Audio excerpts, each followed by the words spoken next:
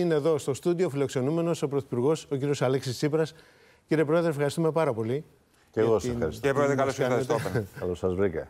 Ε, έρχεστε σε μια στιγμή που είναι, θα λέγαμε, πολύ δύσκολη για τα εθνικά θέματα για μας. Τουλάχιστον αυτό καταλαβαίνουμε από την κλιμάκωση της έντασης ε, που, που κάνει ο Τούρκος Πρόεδρος. Και πριν ξημερώσει, είχαμε αυτή την απόφαση για τον επικισμό, την απειλή, εν πάση περιπτώσει, της του στα Βαρόσια. Ε, ανοίγει ένα άλλο θέμα ο Τούρκος Πρόεδρος. Και ήθελα να σας ρωτήσω εάν ανησυχείτε ότι από εδώ και πέρα θα πάμε ε, μέσα στον Ιούλιο σε ένα πολύ θερμό καλοκαίρι και αν μπορεί να κάνει απειλές, ε, πράξη αυτές Ανοίγει ένα άλλο θέμα ο Τούρκος Πρόεδρος. Κύριε Κασαπόπουλε, ήθελα να σας ρωτήσω εάν ανησυχείτε... και με ευθύτητα. Ε, δεν είναι κάτι το οποίο μας ξαφνιάζει όλα αυτά τα οποία βλέπουμε τις τελευταίες ε, μέρες είναι κινήσεις που είχαμε προβλέψει εδώ και πάρα πολύ καιρό ότι μπορούν να συμβούν. Και γι' αυτό το λόγο δουλεύουμε πάρα πολύ ε, εντατικά, με σχέδιο, εδώ και τέσσερα χρόνια, προκειμένου να έχουμε τη χώρα έτοιμη να αντιμετωπίσει με τις κατάλληλες συμμαχίες και τα κατάλληλα ερίσματα τέτοιου είδους κινήσεις, προκλητικές κινήσεις από την πλευρά της Τουρκίας. Εγώ θα ήθελα, ξεκινώντας την τοποθέτησή μου, πάρα πολύ καιρό, πω και σε εσάς αλλά και στους πολίτες που μας ακούνε. Όλα αυτά που βλέπουμε από την πλευρά της Τουρκίας το τελευταίο διάστημα, την παραβίαση δηλαδή του διεθνούς δικαίου, την ε, προκλητική συμπεριφορά, την, ε, τις έρευνες και την ε, πιθανή γεώτρηση εντός της αποκλειστικής οικονομικής ζώνης της Κύπρου, όλη αυτή η συμπεριφορά δεν είναι ένδειξη ισχύως αλλά είναι ένδειξη αδυναμίας. Θα μπορούσα να το πω διαφορετικά, όλα αυτά που βλέπουμε είναι το αποτέλεσμα της απόλυτης επιτυχίας της ε, στρατηγικής και των ε, συμμαχιών και συνεργασιών της Ελλάδας και της Κύπρου στην ευρύτερη περιοχή. Η Τουρκία αισθάνεται και είναι απομονωμένη στην περιοχή. Η Τουρκία δεν έχει ισχυρές συμμαχίες και βρίσκεται στην δυσάρεστη θέση να βλέπει ότι η Κυπριακή Δημοκρατία εδώ και πάρα πολλά χρόνια είναι κράτος μέλος της Ευρωπαϊκής Ένωσης, ότι δεν μπορεί να ισχυριστεί ότι είναι ένα διμερές πρόβλημα, ένα διμερές ζήτημα, ούτε το Κυπριακό, ούτε τα θέματα που αφορούν την ενέργεια και τους ενεργειακούς πόρους στην ευρύτερη περιοχή. Το ίδιο ισχύει και για τις ελληνοτουρκικές σχέσεις, αλλά οι ελληνοτουρκικές και, ε, και το Κυπριακό εντάσσονται σε ένα ευρύτερο ευρωπαϊκό πλαίσιο. Η αποκλειστική οικονομική ζώνη της Κύπρου είναι ταυτόχρονα και η αποκλειστική οικονομική ζώνη της Ευρώπης. Τα σύνορα της Ελλάδας με την Τουρκία είναι τα σύνορα της Ευρώπης με την Τουρκία. Και ταυτόχρονα, εδώ και αρκετά χρόνια, έχει προχωρήσει με σχεδιασμό α, και με στρατηγική Κυπριακή Δημοκρατία στην αξιοποίηση των ενεργειακών της πόρων. Έχει χαράξει και οριοθετήσει τα οικόπεδα, έχουν γίνει διαγωνισμοί, έχουν έρθει μεγαλύτερες πολυεθνικές ε, εταιρείες οι οποίες ήδη ε, δραστηριοποιούνται και ενεργούν και έχει ήδη παράξει αποτέλεσμα. Δεν είναι έρευνες, αλλά έχει ήδη παράξει αποτέλεσμα. Υπάρχει φυσικό αέριο, υπάρχουν ενεργειακοί πόροι που είναι στη διάθεση της Κυπριακής Δημοκρατίας και όλου του Κυπριακού λαού. Όλα αυτά, σε συνδυασμό με το γεγονός ότι εμείς καταφέραμε ε, σιωπηλά αλλά με σταθερότητα και στρατηγική να αποκτήσουμε ένα πλαίσιο τριμερών και πολυμερών συνεργασιών στην περιοχή. Ελλάδα, Κύπρος, Ισραήλ. Ελλάδα, Κύπρος, Αίγυπτος. Και πρόσφατα, πολύ πρόσφατα, ανακοινώσαμε εγώ με τον Κύπριο Πρόεδρο και τον Ισραηλινό Πρωθυπουργό παρουσία και του Υπουργείου Εξωτερικών των Ηνωμένων Πολιτειών το στρατηγικό μας σχέδιο για τον αγωγό EastMed, ένα σχέδιο που αλλάζει την ισορροπία και τη γεωγραφία της περιοχής, ο αγωγός αυτός ο οποίος θα μεταφέρει τους ενεργειακούς πόρους από τη λεκάνη της Νοτιοανατολικής Μεσογείου προς την Ευρώπη, μέσω της Κρήτης, της ε, ε, υπηρετικής Ελλάδας και μετά από την Ιταλία σε όλη την υπόλοιπη Ευρώπη, όλα αυτά έχουν διαμορφώσει ένα περιβάλλον που οδηγεί την Τουρκία σε στρατηγικό αδιέξοδο. Αυτή είναι η πραγματικότητα. Μήπως το κάνει για να μπλοκάρει τον Ισμέτη η Τουρκία; Είναι προφανές ότι μπορεί κανείς να δώσει πάρα πολλές ε, εξηγήσεις, αναλύσεις. Ε, ε, σημασία δεν έχει αυτή τη στιγμή να δούμε γιατί, πώς. Σημασία έχει να δούμε εμείς πώς πρέπει να αντιμετωπίσουμε αυτή την Και που μπορεί να το φτάσει ο γείτονάς μας, κύριε Πρόεδρε. Διότι προφανώς, ε, επαναλαμβάνω, όσο και αν αυτό ακούγεται λίγο περίεργο, αλλά είναι μια πραγματικότητα, αυτές οι αντιδράσεις της προκλητικότητας και της παραβίαση του διεθνούς δικαίου από την πλευρά της Τουρκίας είναι ε, αποτέλεσμα της μεγάλης επιτυχίας της εξωτερικής πολιτικής της Ελλάδας και της Κύπρου. Είπατε για μας, σας ανησυχεί όμως το γεγονός ότι υπάρχει αυτή η κλιμάκωση. Ήταν στην αρχή ε, το θέμα με την Κύπρο ε, και την αποκλειστική οικονομική ζώνη. Τώρα ξαφνικά θέτει θέμα επικισμού. Κλιμακώνει, ανεβάζει το θερμόμετρο, να το πω έτσι. Ε, ανησυχείτε μήπως αυτό πάει σε ένα άλλο επίπεδο κάποια στιγμή; Και μιλώ ευθέως για πιθανότητα θερμού επεισοδίου στο Αιγαίο από ένα γείτονα που, όπως είπατε, έχει στρατηγικό αδιέξοδο. Αλλά συνήθως αυτοί οι γείτονες είναι οι πιο, αν θέλετε, άτακτοι, για να μην πω επικίνδυνοι. Κοιτάξτε, ε, αυτό το οποίο λέτε τώρα, την πιθανότητα ενός θερμού επεισοδίου στο Αιγαίο, είναι κάτι το οποίο ε, υπάρχει στο μυαλό μας εδώ και πάρα πολλά χρόνια. Και ως πιθανότητα, είναι μια πιθανότητα που κάθε Έλληνας πρωθυπουργός κοιμάται και ξυπνάει με αυτή την πιθανότητα. Κατά ψέματα. Το 1996 βρεθήκαμε μπροστά σε ένα τέτοιο επεισόδιο, όχι στην πιθανότητα, αλλά σε ένα επεισόδιο. Πώς μπορεί κανείς να προετοιμαστεί απέναντι σε ένα τέτοιο ενδεχόμενο; Το πρώτο είναι να έχει αξιόμαχες ενόπλες δυνάμεις. Αυτό είναι δεδομένο. Νομίζω ότι κανείς δεν μπορεί να πει, να αμφισβητήσει ότι παρά το γεγονός ότι περάσαμε μια μεγάλη οικονομική κρίση και υπήρξαν δυσκολίες, τόσο το ηθικό όσο όμως και η υλικοτεχνική υποδομή είναι άρτια, είναι άριστη Άρα εκεί πρέπει να κοιμόμαστε όλοι ήσυχοι. Δεν αρκεί όμως μόνο αυτό. Πρέπει κανείς να ενισχύει τις στρατηγικές του κινήσεις. Και όταν ε, βρισκόμαστε, όταν είμαστε μια χώρα η οποία έχει να αντιμετωπίσει έναν γείτονο που είναι απρόβλεπτος και που, αν θέλετε, αριθμητικά είναι πολύ μεγαλύτερος ε, και σε ό,τι αφορά την οικονομική του δύναμη όσο και τον πληθυσμό του. Αυτό το οποίο πρέπει να κάνει η χώρα αυτή για να είναι ε, για να αισθάνονται οι πολίτες της ασφαλής, και πρέπει να αισθάνονται οι πολίτες μας ασφαλείς, είναι όχι να μείνει μονάχα στο αξιόμαχο των απλοδυνάμεων, αλλά να κάνει συμμαχίες. Να δημιουργήσει ερίσματα και να δημιουργήσει τέτοια δεδομένα ώστε να αποτρέψει τον γείτονα από οποιασδήποτε τέτοιες σκέψεις και βλέψεις. Διότι θα πρέπει να σκεφτεί μία και δύο φορές και την επόμενη μέρα και τις συνέπειες που θα έχει. Ε, αυτό λοιπόν έχουμε κάνει όλο το τελευταίο διάστημα και νομίζω, νομίζω ότι σήμερα, βλέποντας την ε, ομόθυμη καταδίκη της Ευρωπαϊκής Ένωσης απέναντι στην Τουρκία. Βλέποντας τις ε, αποφάσεις που και χθες στο Συμβούλιο Γενικών Υποθέσεων και βεβαίως πιστεύω και αύριο όπου θα βρεθώ στις Βρυξέλλες θα είναι πολύ σαφής εις ό,τι αφορά ακόμα και την πιθανότητα συγκεκριμένων μέτρων αν η Τουρκία συνεχίσει αυτή την προκλητική συμπεριφορά. Και συγκρίνοντας με το τι έλεγε η Ευρωπαϊκή Ένωση το 1996 όταν ο Έλληνας, και όχι μόνο η Ευρωπαϊκή Ένωση, αλλά και ο διεθνής παράγοντας, όταν ο Έλληνας Πρωθυπουργός τότε αναγκάστηκε μετά το επεισόδιο και μετά την απώλεια Ελλήνων στρατιωτών να βγει και να ευχαριστήσει τις ΗΠΑ χωρίς αυτές να έχουν κάνει κάτι ουσιαστικό για να αποτραπεί αυτό το δεδομένο. Και τις επόμενε τις επόμενες μέρες βγήκε η Ευρωπαϊκή Ένωση και είπε ούτε λίγο ούτε πολύ βρείτε τα. Τώρα δεν είναι καθόλου έτσι τα πράγματα. Τώρα έχουμε μια πάρα πολύ σκληρή απάντηση από το State Department, την είδατε. Έχουμε μια πολύ στεναρή στάση από την πλευρά της Ευρωπαϊκής Ένωσης. Στη σύνοδο του Νότου στη Μάλτα, μια σύνοδο που ε, έχω την ε, τιμή να πω ότι ε, ήταν έμπνευση δική μου τότε και του, με τον Φρασουά Αλάν τότε ε, εμπνευστήκαμε αυτή την ιδέα και ξεκίνησε στην Αθήνα πριν από τρία χρόνια και βλέπουμε τώρα πόσο χρήσιμη ήταν, διότι είχαμε την ομόθυμη καταδίκη των 7 του Νότου απέναντι στην τουρκική προκλητικότητα, που έδωσε και το έναυσμα να συνεχίσει και η Ευρωπαϊκή Ένωση με παράλληλες αποφάσεις. Άρα λοιπόν βλέπουμε ότι έχουμε κλειδώσει συμμαχίες και ερίσματα που μπορούν να μας κάνουν να αισθανόμαστε ασφαλείς. Και να λειτουργήσουν αποδεκτικά, λέτε με τους Απολύτως. Διότι, κοιτάξτε τώρα, δεν υπάρχει καμία αμφιβολία ότι όλες αυτές οι προκλήσεις, όλες αυτές οι προκλητικές ενέργειες έχουν ένα στόχο έχουν ένα απότερο στόχο.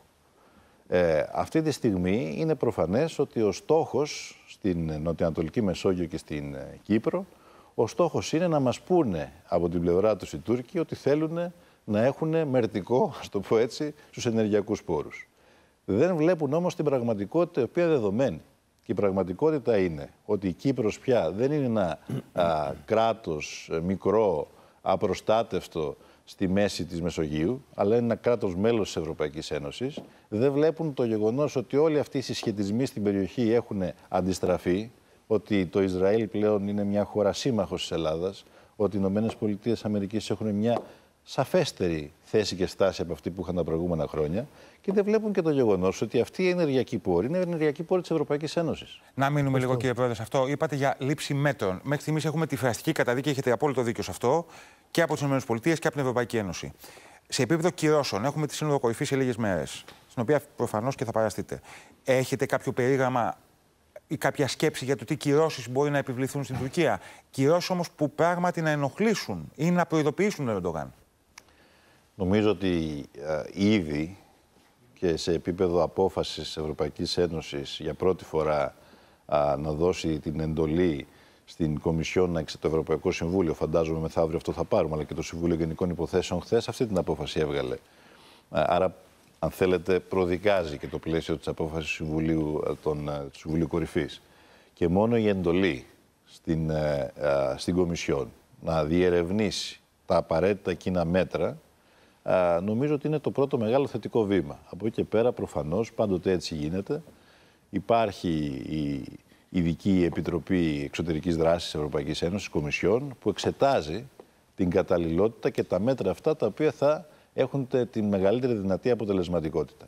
Και εδώ, αν θέλετε, είναι κάτι το οποίο θα πρέπει να το σκεφτούμε κι εμείς ε, και να σκεφτούμε και να αποφασίσουμε και να προτείνουμε, διότι αυτό το οποίο χρειάζεται αυτή τη στιγμή είναι να δημιουργηθούν ε, οι προϋποθέσεις εκείνες που θα κάνουν την άλλη πλευρά να κατανοήσει ότι μόνο να χάσει έχει αν συνεχίσει σε αυτή την κατεύθυνση. Ε, θέλω να σας ρωτήσω, αυτό είναι από την πλευρά της Ευρωπαϊκής Ένωσης. Εμείς είμαστε έτοιμοι οι ένοπλες δυνάμεις, γιατί πολλοί λένε τι θα κάνει ρε παιδί μου, τι μπορούν να κάνουν οι ένοπλες δυνάμεις, τι μπορεί να κάνει η Ελλάδα, αν ο Ερντογάν στρέψει το δεύτερο γεωτρύπανο και το βάλει στην περιοχή μεταξύ Καστελορίζου και Κύπρου και αμφισβητήσει ευθέως και, τα και την ελληνική οικονομική ζώνη και την κυπριακή ότι ε, συνορεύουν. Τι θα κάνει ο Ερντογάν, η Ελλάδα, τι μπορεί να κάνει, εάν στρέψει το γεωτρύπανο στο Καστελόριζο; Κύριε Χασαπόπουλε, έχω την ε, εκτίμηση ότι δεν θα το κάνει και θέλω να μείνω σε αυτό, αλλά ταυτόχρονα θέλω να διαβεβαιώσω το ελληνικό λαό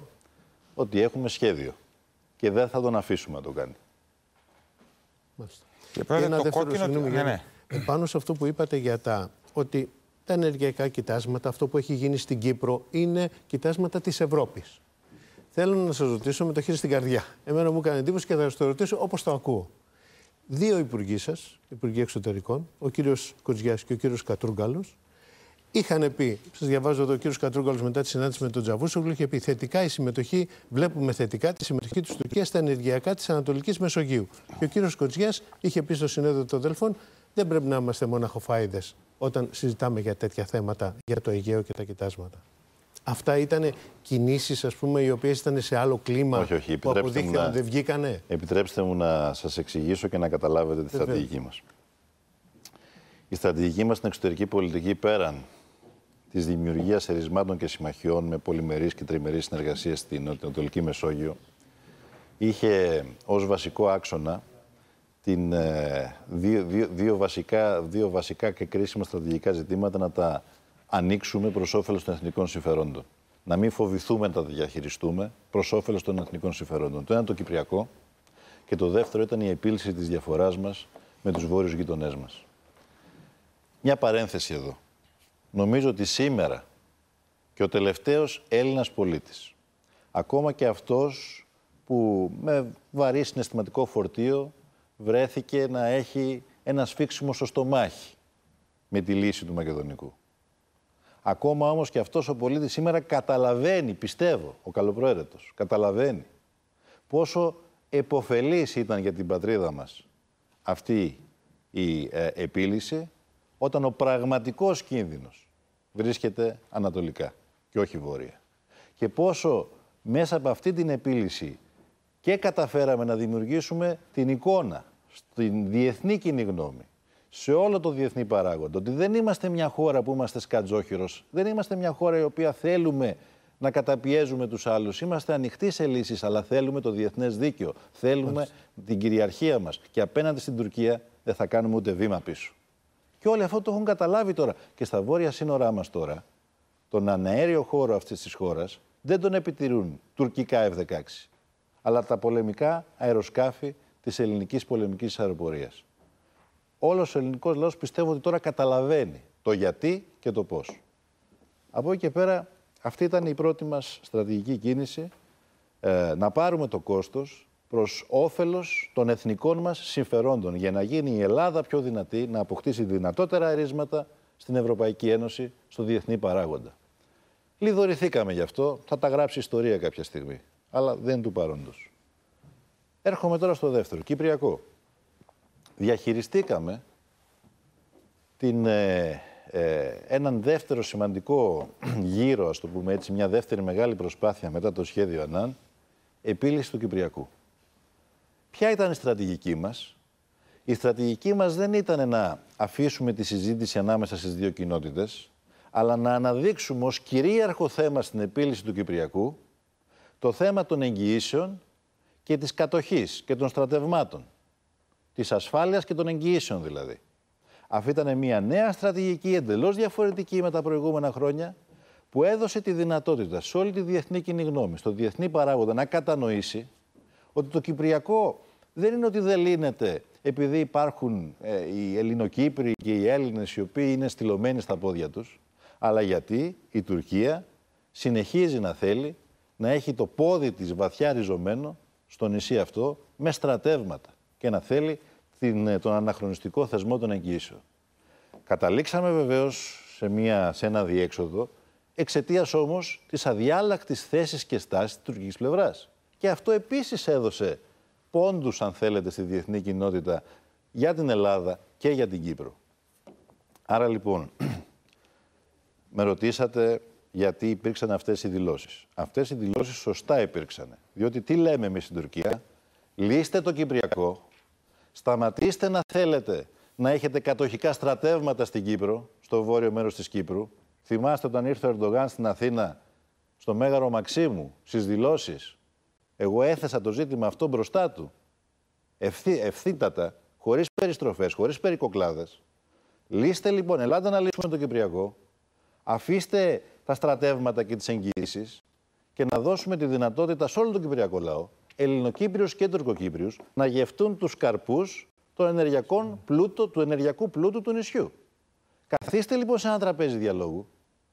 Το κάναμε αυτό και όταν τους προσκαλέσαμε να έρθουν στη διάσκεψη για τους ενεργειακούς πόρους της ε, Μεσογείου που διεξήχθη στο Κάιρο, στην Αίγυπτο.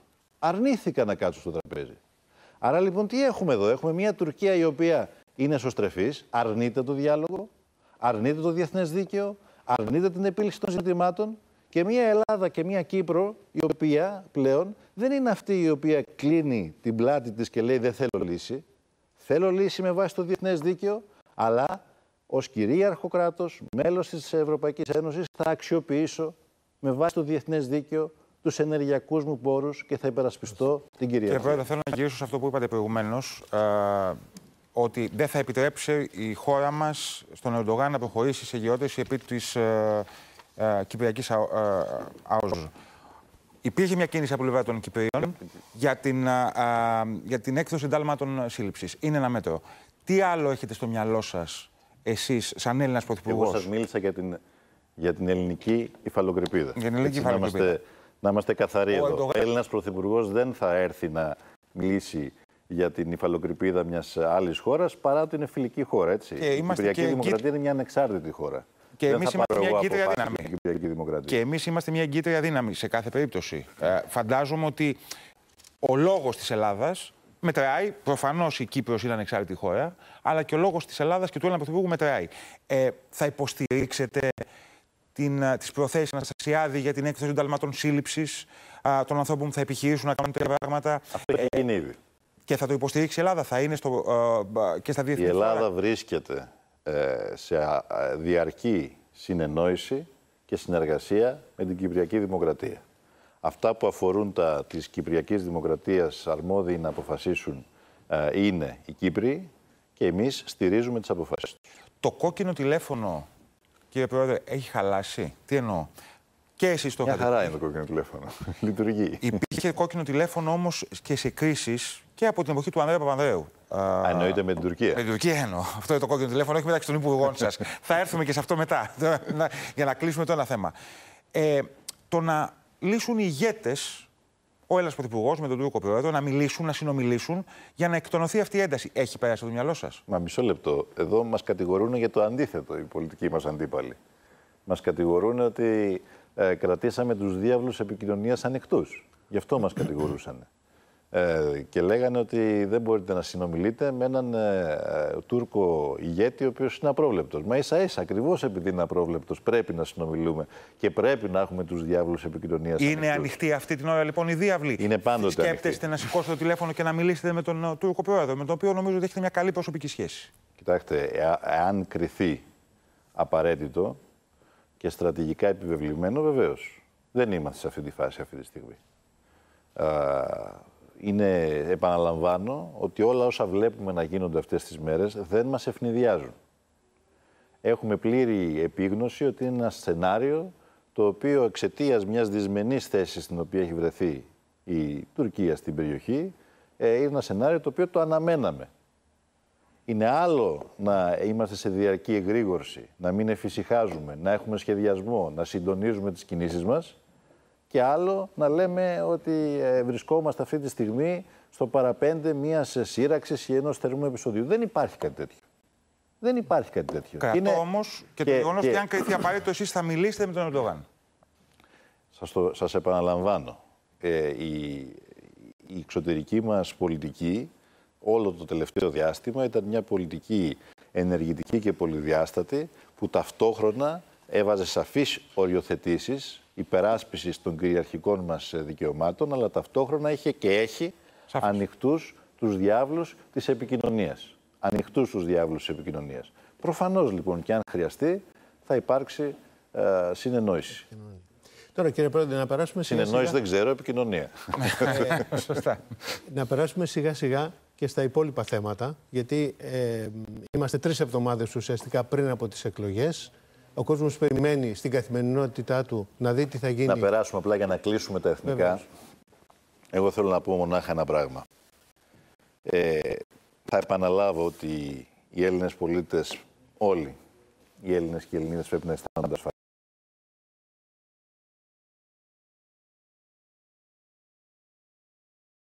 από ποτέ συμμαχίες και ρίσματα, θα είναι ακόμα πιο ισχυροί και θα αισθάνονται ακόμα πιο ασφαλείς ε, οι Έλληνες εάν σταματήσει η μικροπολιτική παράθεση και στα εθνικά θέματα.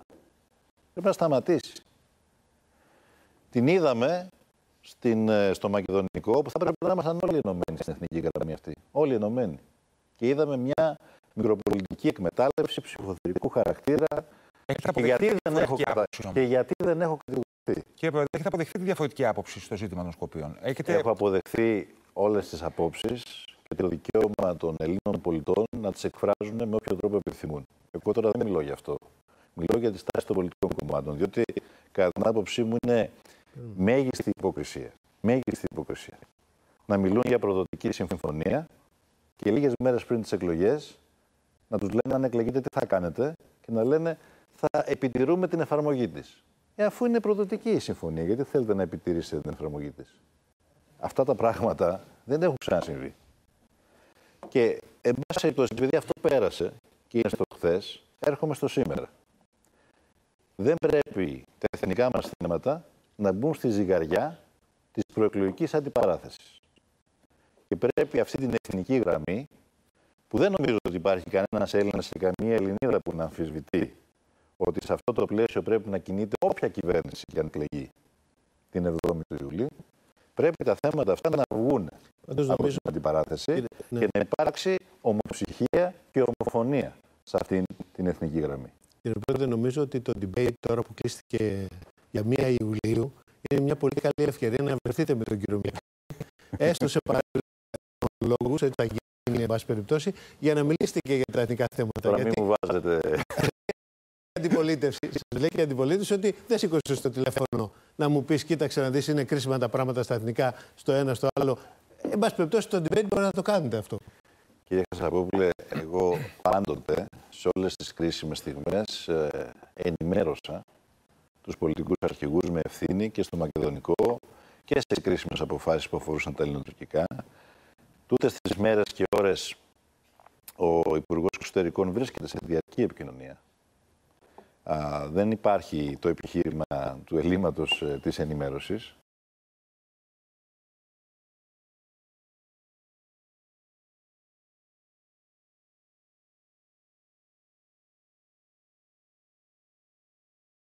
Ότι είναι δραματοποίηση να συνεδριάζουν τα κυβερνητικά όργανα πριν ε, φύγει ο Υπουργός Εξωτερικών να συνεννοηθεί για το πώς θα χειριστούμε μαζί με την Κύπρο την εθνική προσπάθεια να υπάρξει ενιαία γραμμή της Ευρωπαϊκής Ένωσης ενάντια στην τουρκική προκλητικότητα, ότι είναι αυτό δραματοποίηση, ε, μάλλον είναι εκτός τόπου και χρόνου. Ναι.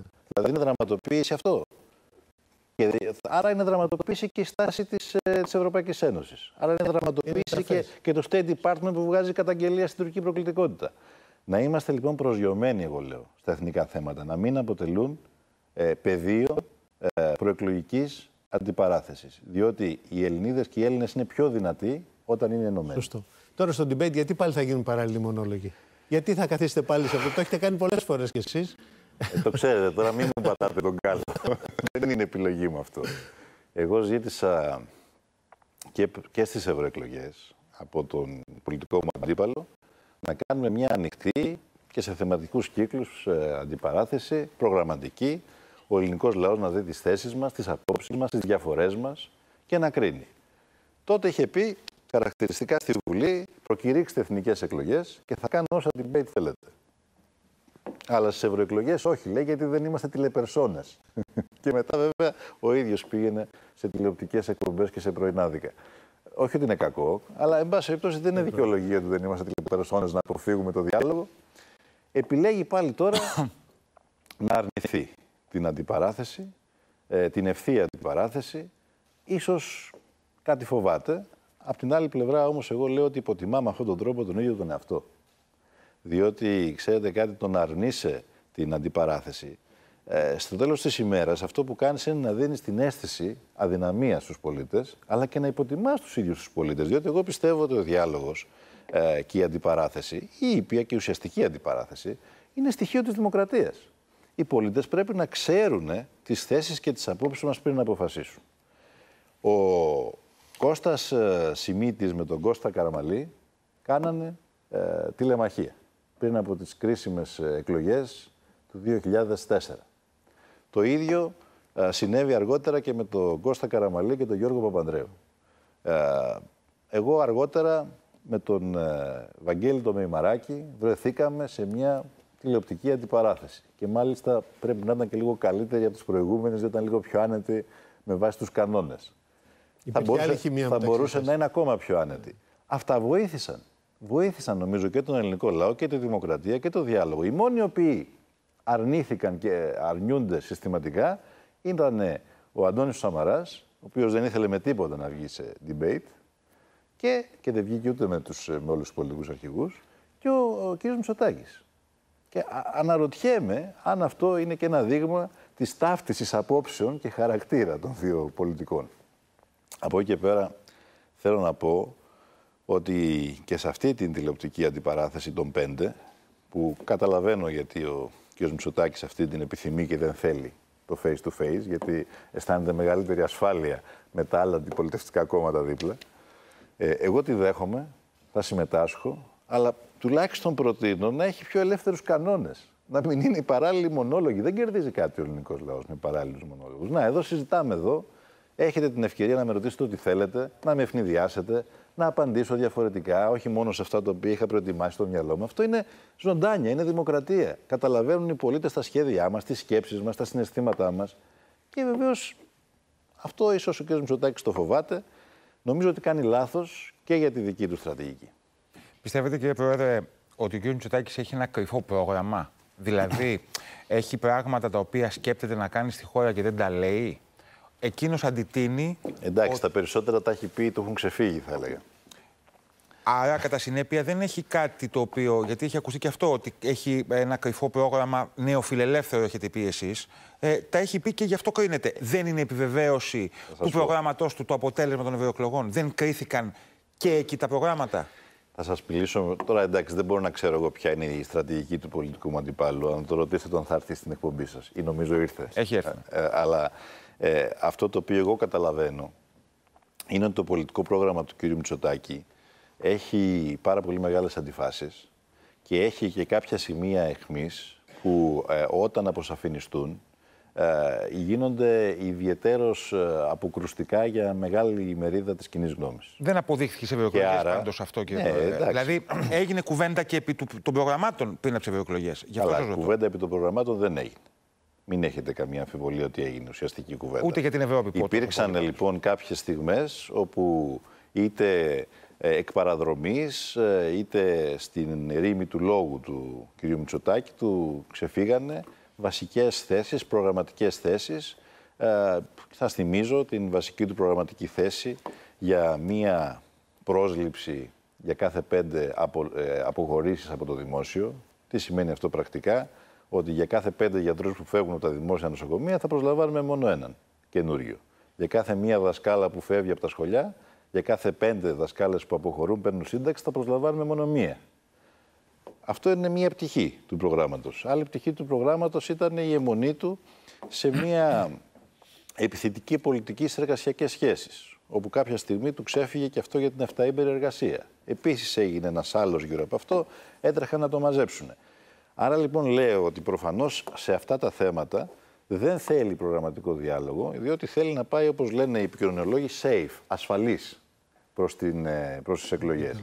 Να μην γίνει συζήτηση, να μην γίνει αντιπαράθεση, να μείνουν όλες αυτές οι προγραμματικές θέσεις πίσω από ένα χρυσοπίκυλτο περιτύλιγμα περί γενικόλογης μειώσεων φόρων. Αλλά εγώ, μιας και μπαίνουμε σε αυτή τη συζήτηση τώρα, θέλω να αναρωτηθώ. Τα δεδομένα τα δημοσιονομικά για τη χώρα είναι πάρα πολύ συγκεκριμένα. Έχουμε την πολυτέλεια για πρώτη φορά μετά από 10 χρόνια να διεξάγουμε εκλογές χωρίς να έχουμε την Τρόικα και το Διεθνές Νομισματικό Ταμείο πάνω από το κεφάλι μας. Άρα τα προγράμματα θα τα εγκρίνει ο ελληνικός λαός. Αλλά όλοι γνωρίζουν ότι τα προγράμματα αυτά θα κινηθούν μέσα στους συγκεκριμένους δημοσιονομικούς περιορισμούς που μας θέτει η κατάσταση της οικονομίας και του υψηλού χρέους της χώρας. Εμείς διατυπώσαμε ένα σχέδιο που έχει αρχή, μέση και τέλος στο Ζάπιο. Κάποιοι είπαν ότι αυτό είναι λίγο, χρειάζεται περισσότερο. Εμείς είπαμε όμως αυτή είναι η δυνατότητα σήμερα της ελληνικής οικονομίας. Τι είπαμε, Είπαμε ότι πέραν του δημοσιονομικού χώρου που έχουμε κατορθώσει μέσα από τους συνεχιζόμενους ρυθμούς ανάπτυξης της ελληνικής οικονομίας και μας δίνουν τη δυνατότητα για μέτρα μέσα στο 2019 ύψους 1,2 δισεκατομμυρίων ευρώ και τα υλοποίησαμε αυτά τα μέτρα. Μείωση του ΦΠΑ στην εστίαση, μείωση του ΦΠΑ στην ενέργεια. Αυτή η δυνατότητα μείωση του έμφυα, η δυνατότητα να δώσουμε ε, ε, έναντι την σύνταξη, ένα μέρος της ε, σύνταξης ε, ως ε, ενίδη 13ης στους πολίτες, ε, στους συνταξιούχους και είπαμε ότι για το, 10, για το 2020 έχουμε καταφέρει να έχουμε μια ρευστότητα γύρω στα 30 και πλέον δισεκατομμυρίων ευρώ στα δημόσια ταμεία. Τα 5,5 από αυτά τα δίνουμε, τα βάζουμε σε έναν ειδικό λογαριασμό, ώστε να διασφαλίσουμε τη μείωση του περιθωρίου από το 2020 και μετά κατά 1% του ΑΕΠ κάθε χρόνο, ε, χωρίς να παραβιάζουμε τη συμφωνία με τους εταίρους μας. Και αυτό μας έδωσε τη δυνατότητα να προτείνουμε και να αναλύσουμε μέτρα ύψους ε, επιπλέον 1,3 περίπου δισεκατομμύριων ευρώ για το 20, 21, 22, καθώς και το 19 μεταφέροντος, γνωρίζετε. Η ασφάλεια αυτή, ναι. Άρα λοιπόν εμείς λύσαμε για στοχευμένες φορολογικές ελαφρύνσεις και το 19 και το 20 και είπαμε το 20 θα καταργήσουμε τον, ε, την εισφορά αλληλεγγύης. Είπαμε ότι το 20 θα ρίξουμε και άλλους τους συντελεστές του ΦΠΑ. Είπαμε ότι το 20 θα κάνουμε στοχευμένα μέτρα και για τις Λέτε επιχειρήσεις. Λέτε ότι το πρόγραμμα βγαίνει ενώ του Μητσοτάκη είναι αιωλό, Α, δεν βγαίνει. Ε, εκεί θέλω να, καταλήξω λοιπόν. Θέλω να καταλήξω ότι εμείς έχουμε καταθέσει ένα σχέδιο που λέει ότι όλοι περάσαμε δυσκολίες μέχρι εδώ, αλλά καταφέραμε αυτό που το 2015 φαινόταν απίθανο, να βγούμε από τα μνημόνια και όλοι μαζί. Με την έννοια ότι δεν έμεινε κανένας πίσω στη διαδρομή. Δεν έπεσε κανένας από το κάρο. Δεν έμεινε κανένας μόνος του αβοήθητος. Τώρα είναι η ώρα στοχευμένα να βοηθήσουμε, να ελαφρύνουμε και αυτούς που έβαλαν μεγαλύτερη δύναμη για να πάει το κάρο μπροστά. Όμως... Η άλλη πλευρά λοιπόν έρχεται και λέει, γενικόλογα, χωρίς να εξειδικεύει, χωρίς να κοστολογεί, μειώσεις φόρων, μειώσεις φόρων, μειώσεις φόρων, γενικόλογα. Μα κύριε Σαραντάκο, πείτε μου, υπάρχει κανένας πολιτικός που να μην του αρέσει να λέει μειώσεις φόρων; Υπάρχει κανένας πολιτικός που να μην του αρέσει να λέει εύκολα, εύκολα λόγια, τα οποία ακούγονται πολύ ευχάριστα στα αυτιά των πολιτών. Το κρίσιμο ερώτημα λοιπόν είναι, αν θέλει να πάει, για παράδειγμα, την φορολογία των επιχειρήσεων με μιας από το 29 στο 20, και να δώσει και τη δυνατότητα μείωσης φορολογίας των, ε, ε, των μερισμάτων στους μετόχους των επιχειρήσεων. Είναι μια ελάφρυνση σημαντική για τους επιχειρηματίες. Θα ευνοήσει κυρίως τις επιχειρήσεις εκείνες που έχουν πάρα πολύ μεγάλα κέρδη να έχουν ακόμα περισσότερα. Αυτό μόνο του κοστίζει 1,5 δις. Άρα λοιπόν, προσέ, ακούστε, καθίστε τώρα, τα μιας και δεν κάνω debate με τον Μητσοτάκη να κάνω με εσάς. λοιπόν, ακούστε με λοιπόν τώρα. Αυτό το 1,5 δις ναι, ναι, είναι, ναι, είναι όσο όλα τα μέτρα που εξαγγείλαμε στη, στο Ζάπιο και αφορούν όλη την κοινωνία. Εδώ αφορεί μόνο μια συγκεκριμένη κατηγορία τους επιχειρηματίες. Για πείτε μου λοιπόν κάτι. Επενδύσεις, κύριε Για πείτε μου λοιπόν κάτι. Όχι, κύριε Χασαπόπουλε, ε, ε, εξηγήστε μου κάτι τώρα. Γιατί το επενδύσεις, ξέρετε πόσα χρόνια το ακούμε. Ο κ. Σαμαράς τα δεν έλεγε. Τι έλεγε ο κ. Σαμαράς; Ελληνικό κύριε Πρόεδρε. Ο θα πάμε και στο ελληνικό. ότι μόλις θα, πάμε και... θα κάνω σε δύο θα μέρες, δύο και στο ελληνικό. Εντάξει, θα πάμε και στο ελληνικό, αλλά απαντήστε μου σε κάτι πολύ συγκεκριμένο. Πού θα βρεθούν τα λεφτά, πού θα βρεθούν οι πόροι για να... Ένας επιχειρηματίας, αν έχει κέρδη και δεν πληρώνει τόσα πολλά στο κράτος, μπορεί αυτά τα λεφτά να τα επενδύσει. Για πείτε μου λοιπόν, κύριε Χασαπόπουλε, κάτι εσείς που τα λέτε πολύ ωραία. Γιατί λοιπόν αυτά δεν τα κάνανε όταν κυβερνούσαν το 10 στο 15 και τα κάνουν τώρα; Γιατί δεν φέρανε επενδύσεις; Γιατί πείτε μου μια επένδυση που φέρανε. Εμείς που μας λένε ότι είμαστε εχθροί των επενδύσεων, έχουμε κάνει δεκάδες, εκατοντάδες επενδύσεις. Και, και η, ανάπτυξη, η ανάπτυξη στο 2 και 2,5% δεν ήρθε με κάποιο μαγικό τρόπο, αλλά ήρθε με επενδύσεις. Με επενδύσεις οι οποίες γίνανε για πρώτη φορά. Αυτό το 2018. Μια μεγάλη ακούστε με, το 2010, θα σας πω και το ελληνικό. Το 2018 η Ελλάδα έχει ρεκόρ, ρεκόρ ξένων άμεσων επενδύσεων δεκαετίας. Σας λέει η Νέα Δημοκρατία ότι έφερε τη Φραπόρτ και εσείς απλά την υλοποιήσατε επειδή άλλαξε η κυβέρνηση. Σας λέω ένα παράδειγμα τώρα. Ότι τη Φραπόρτ την πολεμούσατε εσείς ως αντιπολίτευση και το υλοποιήσατε ως κυβέρνηση μετά. Σας λέω εγώ ένα παράδειγμα. Δεν λέω μόνο για την Εμείς φέραμε την ε, επένδυση στα 14. Ήταν, ήταν μια ε, επένδυση που ήταν στα χαρτιά και εμείς την κάναμε πράξη. Εμείς την κάναμε πράξη. Ε, φέραμε την, ε, μια μεγάλη επένδυση που είναι από την Παπαστράτος, που είναι η, μία από τις τρεις ε, σε όλο τον κόσμο. Εδώ παράγονται τα ειδικά αυτά καπνικά ναι. μηχανήματα που εξάγονται σε όλη την Ευρώπη, σε όλο τον κόσμο και παίρνουν ελληνικά καπνά. Κάναμε επένδυση στα ναυπηγεία της Σύρου. Πάρα πολύ σημαντική επένδυση. Επεκτείναμε τη σύμβαση για το αεροδρόμιο Ελευθέρω Βενιζέλος. Εκατοντάδες επενδύσεις στον χώρο του τουρισμού. Πηγαίνετε να δείτε στην Αθήνα. Πώς, όλα τα ξενοδοχεία ήταν κουφάρια. Τώρα όλα τα ξενοδοχεία ανακαινίζονται. Παντού. Αλλά δεν θέλω να μείνω σε αυτό. Μια στιγμή, Πάω στο ελληνικό. Να σας ρωτήσω κάτι. Μια Πάω στο ελληνικό γιατί εκεί μας χρωστάγανε. Δεν θα μας πάρουν και το βόδι τώρα. Θα σας απαντήσω και σε αυτό. Ωραία, γιατί... πείτε το ελληνικό για να. Το ελληνικό είναι, είναι μια επένδυση σύμβολο. Συμφωνείτε και εσείς αυτό, υποθέτω. Ότι είναι μια μεγάλη συμφωνήσαμε. Όχι απλά συμφωνήσαμε, αλλά βρήκαμε απλά μια σύμβαση. Μια σύμβαση προβληματική για το ελληνικό δημόσιο. Αυτή τη σύμβαση την προχωρήσαμε, την αλλάξαμε, την κυρώσαμε στη Βουλή, Βγάλαμε εμείς το Προεδρικό Διάταγμα, φροντίσαμε προ, πρωτίστως να έχει εγκριθεί από το Συμβούλιο της Επικρατείας, κινήσαμε όλες εκείνες γραφειοκρατικές διαδικασίες που δυστυχώς μέσα από τις διαδικασίες του ελληνικού δημοσίου χρονοβόρο όλα αυτά. Βρήκαμε λοιπόν ένα οικόπεδο, σκέτο, με μια σύμβαση προβληματική που δεν υπήρχε ούτε οριοθέτηση Αιγιαλού, ούτε οριοθέτηση αρχαιολογικών χώρων, ούτε οριοθέτηση δασικών εκτάσεων. Διότι η χώρα μας δεν είχε ούτε κτηματολόγιο, ούτε δασολόγιο, δεν λειτουργούσε τίποτα. Αυτή είναι η πραγματικότητα. Και το έχουμε φτάσει τώρα. Τέσσερα χρόνια όμως. Το... Ναι, τόσο. Το... Μα με συγχωρείτε. Πόσα χρόνια, από πότε έχει ξεκινήσει το ελληνικό, ξέρετε; Πείτε ε, μου, θυμάστε; Ναι, ναι, πολλά χρόνια. 2006. Ναι, πολλά χρόνια. Άρα τι μου λέτε, τέσσερα; Ισχύει αυτό που λέτε. 14. Σας κατηγόρησαν 14. ότι περιπτώσει... Ήρθε μετά από Πανδρέου ο Γιώργος και έφερε τον Αθεμπίγιο. Τον Ισπανό ε, αρχιτέκτονα που θα έκανε το μεγαλύτερο πάρκο στον κόσμο. Μετά έφυγε ο Αθεμπίγιο, ήρθαν κάτι Καταριανοί. Μετά ήρθε ο Σαμαράς και έφερε την ε, λύση με, τον, ε, με την ε, Lambda Development, τον κύριο Λάτση. Και έφτιαξε. Και το μόνο που κατάφερε να κάνει ήταν μια σύμβαση προβληματική και εμείς κινήσαμε όλες τις διαδικασίες. Και τώρα έρχεται λοιπόν ο κ. Μητσοτάκης, ενώ ξέρει, και αυτό είναι λαϊκισμός. Ξέρει λοιπόν ότι φτάσαμε στο τέλος. Τι περιμένουμε αυτή τη στιγμή, και αυτή τη στιγμή, αν δεν ξεκινάνε οι εργασίες, δεν ευθύνεται η κυβέρνηση, ευθύνεται ο παραχωρησιούχος. Διότι ο διαγωνισμός για το καζίνο είναι προπόθεση για να περάσουν οι μετοχές στον παραχωρησιούχο. Ο διαγωνισμός για το καζίνο καθυστέρησε. Κατανοητό. Όχι με ευθύνη της κυβέρνησης, αλλά διότι έπρεπε να γίνουν διαπραγματεύσεις ανάμεσα στην, ε, στην, στην, θέματα... στον παραχωρησιούχο και στους επενδυτές. Και έρχεται τώρα, ενώ ξέρουν όλοι ότι τελειώνει ο διαγωνισμός και θα γίνει το επόμενο διάστημα μέσα στον Ιούλιο και εκ του ασφαλούς λέει Α, εγώ θα το πιστωθώ. Εντάξει όμως, να είμαστε σοβαροί. Έτσι είναι στην πολιτική τώρα. Έτσι είναι στην πολιτική. Εγώ θέλω να Δεν με ενδιαφέρει αυτό. Πάνω σε Εμένα με ενδιαφέρει ο ελληνικός λαός να καταλάβει ένα πράγμα. Αυτοί οι οποίοι μιλάνε για μειώσεις φόρων και για επενδύσεις, όταν ήταν στην κυβέρνηση, είχαν τρελάνει στους φόρους το 83% των φόρων αυτοί τους βάλαν στον ελληνικό λαό, από τα τρία μνημόνια, και δεν είχαν φέρει ούτε μία σοβαρή επένδυση. Ούτε μία. Αυτή είναι η πραγματικότητα. Εγώ θέλω να σα ρωτήσω για αυτές τις ενστάσεις που εκφράζει καθημερινά η Κομισιόν και η Ευρωπαϊκή Ένωση για όλες αυτές τις παροχές που έγιναν προγραμμα... ε, προεκλογικά. Και λέει ότι ανοίξαμε πάλι μια τρύπα, ένα 1,5 δισεκατομμύριο. Δηλαδή, ωραίες είναι οι παροχές, ωραία είναι να μοιράζουμε το πλεόνασμα, αλλά από ένα σημείο και μετά πάλι θα ξαναρχίσουμε τα ίδια, λέει ο κόσμος. Πάλι θα έρχονται απ' έξω και θα λένε Πού τα βρήκατε τα λεφτά, κόψε το ένα, κόψε το άλλο. Λοιπόν, ενδιαφέρον το, το ερώτημά σας. Πρώτα απ' όλα να πω ότι η Κομισιόν ε, και κυρίως το Διεθνές Νομισματικό Ταμείο, καλά αυτή, αυτή παρά ήταν, ε, κάνανε πάντοτε προβλέψεις όσο ήμασταν εμείς στην κυβέρνηση, γιατί όταν ξεκινήσανε κάνανε το αντίθετο, κάνανε πολύ αισιόδοξες προβλέψεις που δεν βγαίνανε ποτέ. Όσο ήμασταν εμείς, κάνανε πάντοτε δυσίωνες προβλέψεις που ευτυχώς για την Ελλάδα και την ελληνική οικονομία ποτέ δεν πέφτανε μέσα. Θέλω να σας διαβεβαιώσω ότι όλα όσα εξαγγείλαν, όσα, όλα όσα υλοποιήσαμε και όλα όσα σχεδιάζουμε για την επόμενη τετραετία είναι απολύτως εντός των δυνατοτήτων της ελληνικής οικονομίας και του δημοσιονομικού περιθωρίου της. Απολύτως. Μετρημένα μέχρι το τελευταίο ευρώ.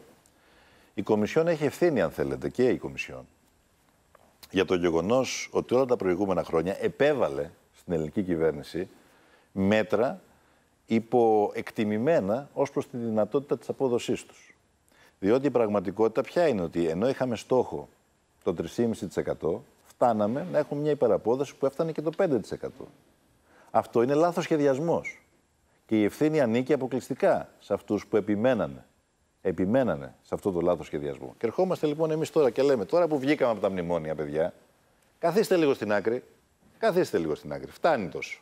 Και αφήστε μας να σχεδιάσουμε εμείς με βάση τις δυνατότητες και τις ανάγκες της ελληνικής οικονομίας και της μεσαίας τάξης για ανάσες. Αφήστε λοιπόν αυτές τις δυσίωνες προβλέψεις. Εμείς έχουμε αποδείξει ότι μπορούμε.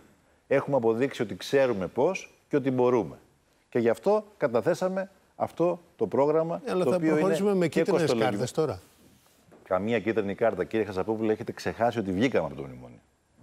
Και δεν το λέω ότι το κάνετε επίτηδες. μετά τις εκλογές δεν το λέω ότι το κάνετε επίτηδες. Σας λέω ότι η συνήθεια της οκταετίας είναι τόσο ισχυρή ναι. που δεν μας... Λοιπόν, αν δεν... μετά η Ελλάδα αυτή τη στιγμή είναι μια χώρα η οποία δεν βρίσκεται σε μνημόνιο. Η Ελλάδα αυτή τη στιγμή είναι μια χώρα που υπόκειται βεβαίως σε όλες τις ε, υπόλοιπες δεσμεύσεις που έχουν όλες οι ευρωπαϊκές χώρες, το ευρωπαϊκό εξάμεινο. Παρακολουθούν όλοι από κοντά την απόδοση της ελληνικής οικονομίας. Αλλά στο βαθμό που η Ελλάδα καταφέρνει τους στόχους, δεν μπορεί κανείς να σηκώσει καμία κίτρινη κάρτα. Τώρα, όμως, δεν λέω ότι το ερώτημά σας δεν έχει καμία βάση, διότι ακούστηκαν φωνές. Ποιες είναι αυτές οι φωνές που ακούστηκαν; Πρώτα απ' όλα, το ίδιο βράδυ που βγήκα εγώ στο Ζάπιο προεκλογικά, πριν από τις ευρωπαϊκές εκλογές, βγήκε ο κύριος Βέμπερ, ο στενότατος φίλος του κύριου Μητσοτάκη, ο οποίος είναι γνωστός για την αιμονή του στις ακραίες πολιτικές λιτότητας και για την αιμονή του σε θέσεις που, εν πάση περιπτώσει, είναι επιθετικές και για την Ελλάδα αλλά και για όλο τον Ευρωπαϊκό Νότο. Και τι είπε ο κ. Βέμπερ, ότι ο Τσίπρας κάνει παροχές με τα λεφτά των Ευρωπαίων. Αυτή ήταν η μεγαλύτερη προσβολή που έχουμε ακούσει από τον καιρό του Σόιμπλε. Η μεγαλύτερη προσβολή, τις θυσίες και τους κόπους του ελληνικού λαού, να λέει αυτός ο κύριος, ο Βαβαρός, ότι είναι λέει τα λεφτά των Ευρωπαίων. Για να κάτσουμε κάτω να δούμε πού είναι τα λεφτά των Ευρωπαίων. Οι Ευρωπαίοι έχουν κερδίσει από το δανεισμό τους στην Ελλάδα. Δεν έχουν χάσει ούτε ένα σέντ. Ούτε ένα σέντ. Και Έλληνες παράγοντες τα έχουν κερδίσει διπλά και, και τριπλά με τους στόχου. Και Έλληνες παράγοντες μίλησαν για μαύρη τρύπα, όπως ο κ. Άρα λοιπόν. Δεν ήταν μόνο οι ξένοι. Γιατί και ο Έλληνας κεντρικός τραπεζίτης μίλησε για μαύρη τρύπα 1,1 ε, δισεκατομμύριων ευρώ. Τώρα ε, θέλω να γιάσω και δεν με αφήνετε. Κύριε Σαραντάκο, τι να κάνω. Με συγχωρείτε. Παραθέσει τα γεγονότα. Μίλησε ο κ. Τουρνάρα γι' αυτό. δεν είναι μόνο οι κακοί ξένοι. Με συγχωρείτε, Δεν είναι μόνο οι κακοί ξένοι. Είναι και ένας παίκτης κεντρικός που είναι ο Στουνάρα, ο κεντρικό τραπεζίτη. Του κύριε, φυλακή το στόματί μου. Είπαμε να κάνουμε ανοιχτή κουβέντα στο ανοιχτό κανάλι. κύριε Πρόεδρε, δεν έχει εδώ. Αυτό που είπατε πάντως για το Στουνάρα. Λοιπόν, αυτό που είπατε πάντως για το Στουνάρα, ότι έχει μπακαλίστικη λογιστική, ήταν χοντρό. Ήταν χοντρό. Σας το λέω. Δηλαδή, με όλο το θάρρος. Γι' αυτό και τώρα λέω θου κύριε, για να μην πω καν χοντρότερο. λοιπόν, ακούστε να δείτε. Ο κεντρικός τραπεζίτη δεν είναι πάντως αυτός που περνάει απ' έξω. Με αυτή την έννοια γιατί, γιατί το είπα αυτό. Διότι πέραν του ότι έχει βγει έξω όλες τις προβλέψεις, σε όλες τις προβλέψεις έχει βγει έξω. Θυμάστε ότι όχι πολύ, πολύ μακριά, όχι ούτε καν ένα χρόνο πριν, λιγότερο. Δεν μας έλεγε ότι η Ελλάδα δεν βγαίνει από τα μνημόνια και ότι θα αναγκαστούμε να πάρουμε επιστοληπτική γραμμή στήριξης και ότι το δικαιολογούσε λέγοντας μάλιστα ότι το πολιτικό σύστημα στην Ελλάδα είναι τόσο ανώριμο που δεν μπορεί να λειτουργήσει έξω από τους καταναγκασμούς της Τρόικας. Αυτές είναι οι απόψεις του. Εγώ τις σέβομαι τις απόψεις του. Αλλά, εν πάση περιπτώσει, άλλος είναι ο θεσμικός του ρόλος και άλλο οι πολιτικές του απόψεις. Τώρα, αυτό που είπα, γιατί το είπα; Το είπα γιατί κάνει προβολή για να αποδείξει το επιχείρημά του ότι δήθεν θα είμαστε εκτός στόχων το 2019. Κάνει, κάνει, παίρνει το, το αποτέλεσμα του πρώτου τετραμήνου και κάνει προβολή πολλαπλασιάζοντάς το επί τρία. Ε, αυτό με συγχωρείτε, αλλά δεν ε, υπόκειται σε καμία σοβαρή κριτική ε, φοιτητών δευτεροετών της ΑΣΟΕ. Έτσι, διότι όλοι γνωρίζουν ότι το δεύτερο τετράμινο, το οποίο είναι το καλοκαίρι, που είναι με τα μεγάλα έσοδα και με τις μεγάλες δυνατότητες της ελληνικής οικονομίας να αναπτύσσονται, είναι το τετράμινο που έχει τα μεγαλύτερα έσοδα και τη μεγαλύτερη Υπάρχει απόδοση. αντίλογος αυτό. Ο αντίλογος... Ότι κι εσείς μοιράσατε το πλεόνασμα με προβολή τι πλεόνασμα θα είχαμε στο τέλος του 19. Ότι κάνατε τις παροχές προβάλλοντας το πλεόνασμα που θα βγάζατε στο τέλος του 19. Εμείς με μεγάλη, επαναλαμβάνω, με πολύ συντηρητική πρόβλεψη μοιράσαμε το πλεόνασμα. Με απόλυτα συντηρητική πρόβλεψη. Και αυτό το βεβαιώνει το γεγονός ότι εις ό,τι αφορά το, το περιθώριο του δημοσιονομικού χώρου, η απόφαση, αν θέλετε, ήταν διασταυρωμένη και με τα στοιχεία της Κομισιόν. Δεν το κάναμε μόνοι μας. Άρα λοιπόν να φύγουμε από αυτή την ε, κινδυνολογία και να περάσουμε στους υπαρκτούς κινδύνους. Ποιοι είναι οι υπαρκτοί κίνδυνοι; Αυτά ο κύριος Βέμπερ δεν τα είπε τυχαία. Και τα επανέλαβε και κάποιος όχι με τον ίδιο τόνο, αλλά τα επανέλαβε και ένας ακόμα Ευρωπαίος, ο κ. Ρέγκλιν, του ESM, που και αυτός ανήκει στην ίδια συνομοταξία, στην ίδια πολιτική οικογένεια και στην ε, ίδια, θέλετε, ιδεολογική προσέγγιση. Ποιοι είναι λοιπόν οι υπαρκτοί κίνδυνοι; Οι υπαρκτοί κίνδυνοι, τους οποίους κατά την άποψή μου και ο κύριος Τουρνάρα δεν τα λέει τυχαία όλα αυτά, βρίσκεται σε ένα σχεδιασμό, σε συνεννόηση κατά την άποψή μου τον κύριο Μητσοτάκη, είναι οι εξής. Εγώ όταν ήρθαν οι ευρωπαϊκές εκλογές, είπα με ειλικρίνεια στον ελληνικό λαό: Ξέρετε κάτι, αν δεν υπάρξει. και έπαιρνα ρίσκο όταν το έκανα αυτό. Μεγάλο ρίσκο. Γιατί όλοι ξέρανε ότι οι ευρωπαϊκές εκλογές δεν είναι εθνικές εκλογές. Ξέρουν ο κόσμος ότι δεν αλλάζει κυβέρνηση την άλλη μέρα. Και μου λέγανε όλοι, Μα γιατί το πολιτικοποιείς τόσο πολύ; Γιατί ανεβάζεις τόσο ψηλά τον πύχη; Αλλά εγώ είπα την αλήθεια ότι αν ο ελληνικός λαός δεν επιδοκιμάσει αυτή, αυτά τα μέτρα και αυτή την πολιτική, τότε θα υπάρξουν φωνές την επόμενη μέρα για να αρχίσει να ξυλώνεται το πουλόβερ. Και υπήρξαν και υπάρχουν και τώρα. Στουρνάρας, Ρέγκλιν, Βέμπερ και ενδεχομένως να υπάρξουν και άλλοι. Θα το δούμε αυτό. Λέω λοιπόν ποιος είναι ο υπαρκτός κίνδυνος. Ο υπαρκτός κίνδυνος, ακριβώς επειδή ο κ. Μητσοτάκης ε, γνωρίζει πάρα πολύ καλά ότι αυτά τα οποία α, προσφέρει με φιδό επιχειρημάτων και υποσχέσεων στον ελληνικό λαό περί μειώσεων φόρων α, είναι υποσχέσεις δίχως αντίκρισμα, ο υπαρκτός κίνδυνος είναι την επόμενη μέρα των εκλογών. Εάν ε, δεν ε, υπάρξει μια μεγάλη πολιτική ανατροπή που εγώ την πιστεύω και παλεύω για αυτήν και θα σας πω μετά αν έχουμε λίγο χρόνο γιατί το πιστεύω, ε, να έχουν έτοιμο ένα κουστούμι ραμμένο, κομμένο και ραμμένο, για να επιστρέψουν πάλι σε πολιτικές που ζήσαμε από το 2010 στο 2014 και τόσο πολύ ο ελληνικός λαός θέλει αυτό τον εφιάλτη να μην τον ξαναζήσει. Μάλιστα. Και Διότι το ερώτημα το οποίο ήθελα να κάνω και με διακόψατε κάποια στιγμή είναι μάλιστα 1,5 δις μόνο για τις ε, φοροελαφρύνσεις των επιχειρήσεων που κανείς δεν θα ήθελε να πει. Και εγώ υπέρ είμαι. Για να δούμε λοιπόν όλα τα υπόλοιπα πού θα βρεθούν τα λεφτά. Ξέρετε τι λέει η Νέα Δημοκρατία; Περικοπές δαπανών. Τι σημαίνει οι δαπάνες για να καταλάβει και ο κόσμος; Ποιες είναι οι δαπάνες; Δαπάνες είναι οι μισθοί. Δαπάνες είναι οι συντάξεις. Δαπάνες είναι ο προπολογισμό για την παιδεία. Δαπάνες είναι ο προπολογισμό για την παιδεία και το κοινωνικό κράτος και τα επιδόματα. Ποια είναι τα επιδόματα, το κοινωνικό εισόδημα αλληλεγγύης που παίρνουν όλοι οι συμπολίτες μας με χαμηλό εισόδημα, είναι τα επιδόματα αναπηρίας. Αυτά είναι επιδόματα. Είναι το επιδόμα το οικογενειακό, που δεν παίρνει μόνο τρίτο παιδί, αλλά πρώτο και δεύτερο παιδί. Ε, είναι το επίδομα στέγης που δίνουμε σε 420.000 νοικοκυριά. Ε, ρωτάω εγώ τώρα, ποια από όλα αυτά τα επιδόματα θα περικοπούν; Κύριε Πρόεδρε, θα μου επιτρέψετε να, να, ανοίξω, να, να κλείσουμε το θέμα της οικονομίας. Έχουμε λίγο χρόνο ακόμα και υπάρχουν πολλά τα ερωτήματα. Πριν από λίγες ημέρες ήταν εδώ, σε αυτό το στούντιο, ο κ. Μητσοτάκης. Τον ρωτήσαμε για την υπόθεση δικαιοσύνης και τη φιλολογία περί Ρασπούτιν. Μας είπε ότι ο κ. Τσίπρας γνωρίζει ποιος είναι, ότι είναι στην ηγεσία της δικαιοσύνης, του Υπουργείου Δικαιοσύνης, το πρόσωπο αυτό, και υπενήχθηκε σαφώ, μάλλον μίλησε με σαφήνεια ότι το θέμα αυτό της Νοβάρτης, το οποίο χαρακτήρισε σκευωρία, θα διερευνηθεί από την επόμενη Βουλή. Είπε επιλέξεις. Ξέρετε, λέει, ο ελληνικός λαός λέει μια παροιμία, κύριε Σαραντάκο. Εκεί που μας χρωστάγανε, θέλουν να μας πάρουν και το βόδι, λέει. Ναι. Λοιπόν, κοιτάξτε, ε, εγώ το πρώτο πράγμα που θέλω να πω είναι ότι η υπόθεση αυτή είναι ευθύνη και της δικαιοσύνης, αλλά και της ίδιας δημοκρατίας απέναντι σε όλο τον ελληνικό λαό, να φτάσει μέχρι το κόκαλο, να διερευνηθούν όλα. Εγώ δεν ήμουν και ούτε είμαι αυτός ο οποίος θα απειλήσω, θα εκφοβήσω, θα δημιουργήσω σκόνη, ακριβώς γιατί δεν έχω και κανένα άγχος. Άλλοι έχουν το άγχος, αυτοί οι οποίοι διερευνούνται.